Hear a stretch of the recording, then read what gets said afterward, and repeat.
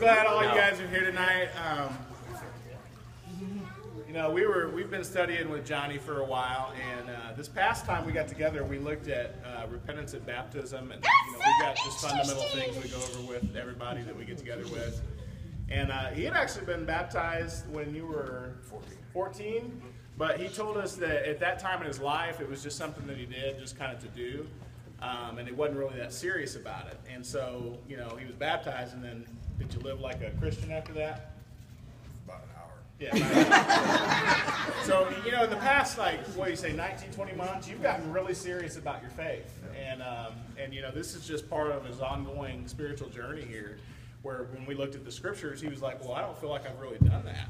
Um, and so he, that's why we're here tonight. Like, That's this guy awesome. really wants to follow the Lord, and, and he's serious about it. He wants to do what the Bible says.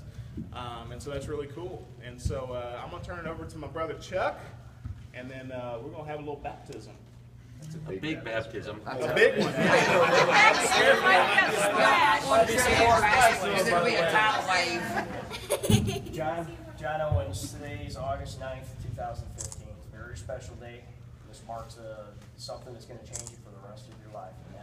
Repentance that you've learned and the commitment that you're going to show, this is going to be just the start of that journey. I'm very proud of you and your studies and everything that I've learned from you and that you've learned from us. Wes has been a great guide through our study, but I can tell you I'm very proud that after this happens, that uh, you're going to be my brother in Christ. Do you believe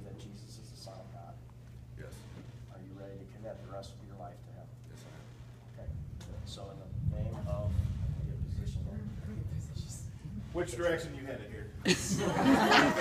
yeah. Big question. Knock him. Squat down there, I've never seen done like this. Are they standing in water? You can hold Loud the objection. In the name yeah. of the Father and the Son and the Holy Spirit, I baptize you in Christ.